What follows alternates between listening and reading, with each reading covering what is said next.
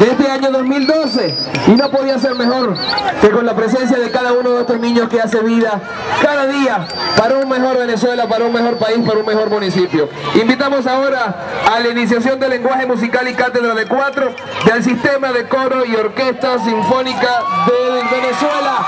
Un aplauso para